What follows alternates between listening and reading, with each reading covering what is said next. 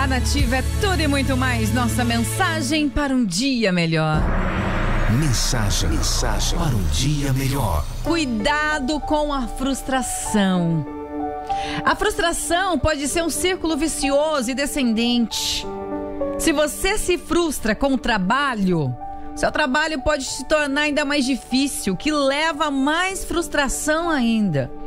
Quando você se frustra com as ações das outras pessoas, suas atitudes frequentemente reforçam o comportamento ofensivo delas, o que aumenta a sua frustração.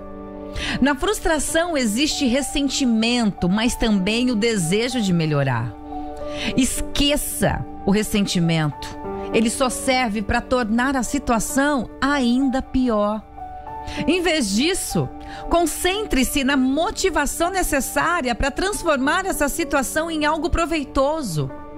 Use a energia da sua frustração não para responder com raiva, para responder com ressentimento, mas para seguir em frente de maneira positiva. Não seja, não veja a sua frustração como uma desculpa para sentir pena de si mesmo. Considere-a como uma forma de identificar oportunidades de crescimento na sua vida. Esforce-se.